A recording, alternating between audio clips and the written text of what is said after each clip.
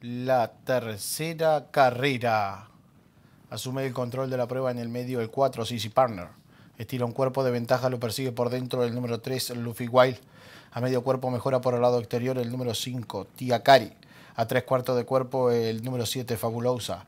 Tres cuartos de cuerpo por dentro el 1A, Olivia Storm. A la cabeza por el lado exterior el número 8, Sonado Agriao a un cuerpo por dentro el Dox Máxima P.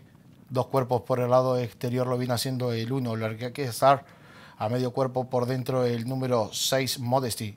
Tres cuartos de cuerpo el 12, Re Casi Seguro. Enseña el camino el 4, Sisi Partner.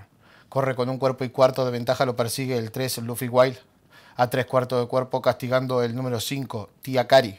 A medio cuerpo por dentro el 2, Máxima P tres cuartos de cuerpo en el medio, el 7, Fabulosa. A la cabeza por el lado exterior se arrima el 1, la Arquía Star. A tres cuartos de cuerpo el número 8, Zona do Agriao. El 4, Sisi Partner. Corre con medio cuerpo de ventaja, lo persigue por el lado exterior el número 3, Luffy Wild. Ingresaron en la recta final el 4, Sisi Partner. Viene corriendo con medio cuerpo de ventaja, lo persigue por el lado exterior el número 3, Luffy Wild.